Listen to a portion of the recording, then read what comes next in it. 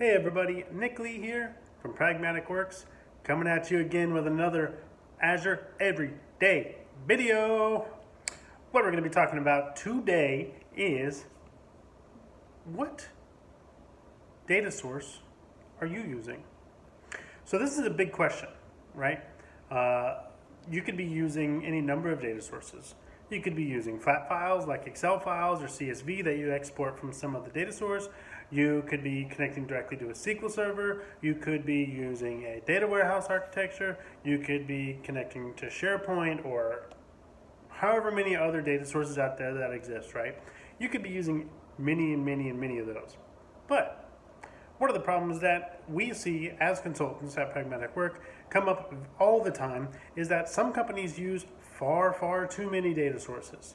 Now, this comes along the lines of, yeah, all right, so they're connecting to a couple tables off of SQL Server, and they're also got one view on SQL Server, and then they're connecting directly to a SharePoint list to pull some data in that they've been uh, you know, keeping track of, and they're exporting from some Excel files from something like SAP, and they're all putting all these different data sources into one report.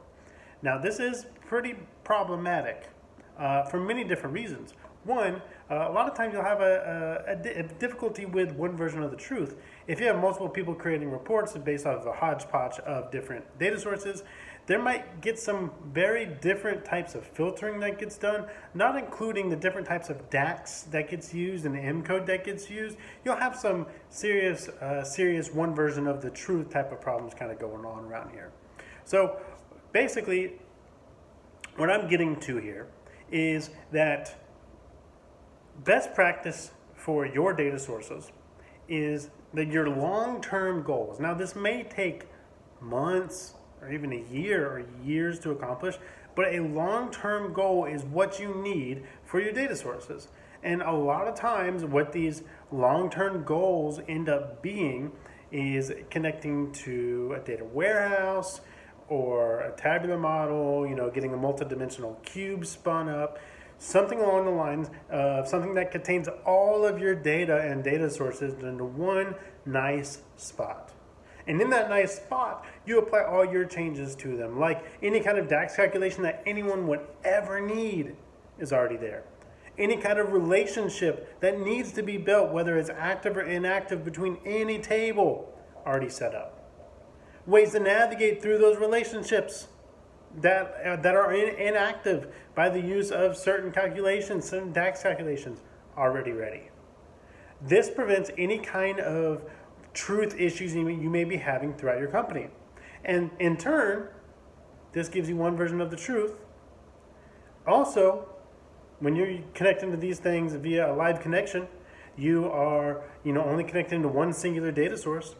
Also, it prevents people having access to data that other users don't have access to, you know, assuming that they're supposed to have access to it, that is.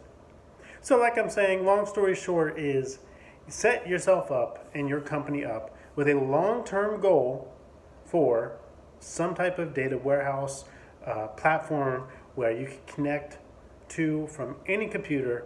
Anyone in the company that should be creating reports should be able to connect to this and start creating whatever kind of reports they want to. And that's my little uh, two cents for today on that subject. Um, if you have any more questions, feel free to hit me up on Twitter. Uh, my Twitter is at back to SQL.